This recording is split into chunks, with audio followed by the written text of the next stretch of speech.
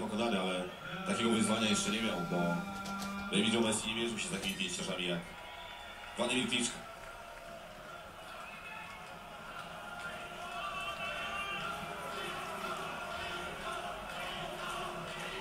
No już poczuł smak tych najmocniejszych uderzeń w swojej kategorii wagowej Mariusz Wach.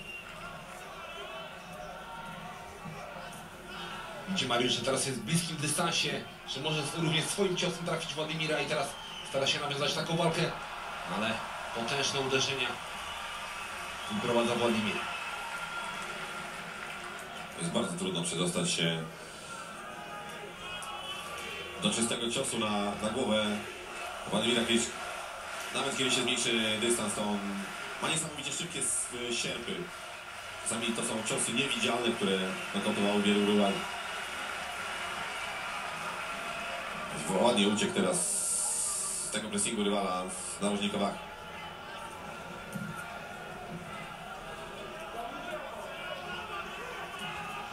Ale to wciąż jest mało, mało ciosów, jeśli chodzi o Polaka. Kliczko ustawił walkę w swoim tempie, po swojemu stara się, nie nakręca, wie, że prowadzi, wie, że celnie trafia. Tu Mariusz musi szukać rozwiązania, żeby odmienić obraz walki. Jak kuje prawą, podwójnie prawy, jeszcze dołożył lewą rękę Władimir Kliczko. Mariusz próbuje zmniejszyć dystans, skrócić dystans, czasami na korpus.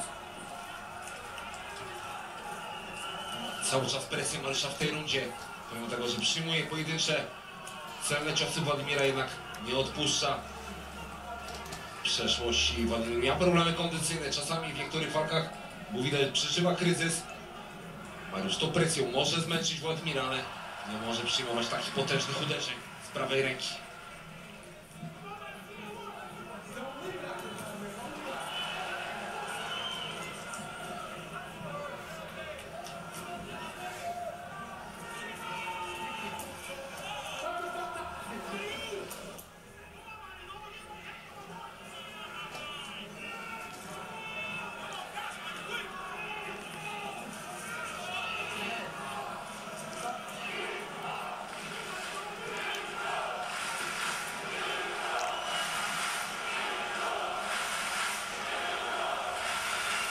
Końcówka piątej rundy.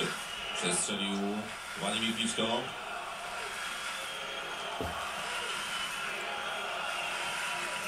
Bardzo dobrze teraz Wach, ależ fantastyczny prawy Mariusza Wacha. Kapitalnie trafił idealnie Wach swojego rywala.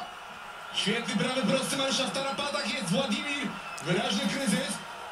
Na to czeka właśnie Mariusz, przygotował ten prawy, trafił tym prawym i odczuł ten cios Władimir. Widać zadowolenie teraz, uwierzył w narożnik w Mariusza. Poczekajmy, czy dojdzie do siebie Władimir. Musi to wykorzystać Mariusz.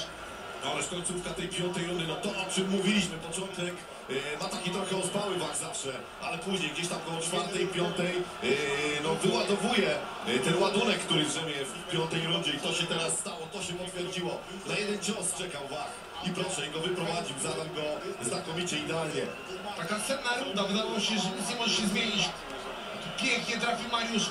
Widzimy od razu podbite lewe oko Władimira i lata ratował się klinczem. Mógł to wykorzystać Mariusz, ale myślę, że ta akcja doda mu pewności siebie i miejmy nadzieję, że będzie potrafił to wykorzystać. Zamienić w celne serie w kolejnej rundzie. Pamiętajmy, po tej prawej ręce Wach Kevin McBride zanotował ciężkie KO. Przez długi moment nie mógł się podnieść.